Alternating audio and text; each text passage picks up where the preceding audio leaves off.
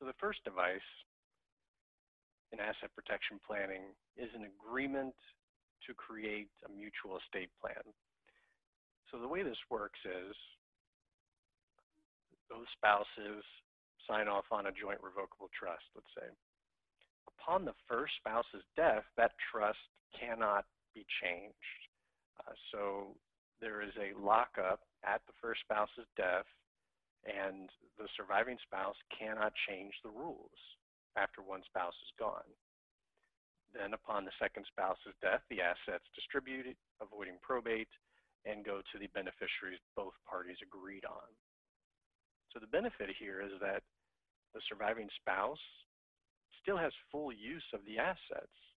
So they could go on a trip around the world, they could improve their house, they could buy a car, anything they want, as long as they don't change where the assets go upon their death.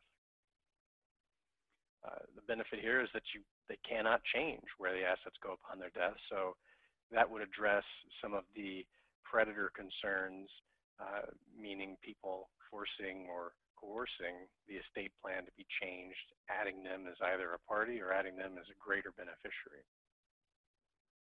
Uh, there are no limit, you, or sorry, you can place limits on gifts and loans in this type of agreement.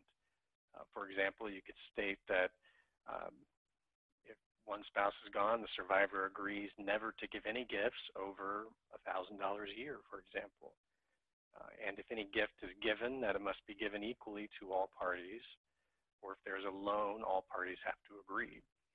Uh, so those are the benefits. Here are the drawbacks, though. There's still no creditor protection. Because the assets are still owned by the surviving spouse, the creditors can get to those assets. And another con is that the spouse has full use of the assets. You're probably thinking, well, isn't that listed above as a pro? Well, it's just as equally relevant as a con because if that surviving spouse spends the assets in a way that is unwise or purchases things or pays for things that are contrary to uh, reasonable standards, there's no protection and that spouse can spend things on anything they like.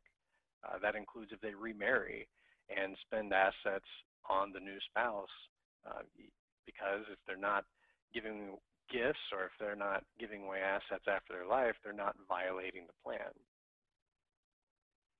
Also, let's say this agreement is in place, your dad dies, your mom survives, and your mom is acting contrary to the agreement, you would have to sue your mom.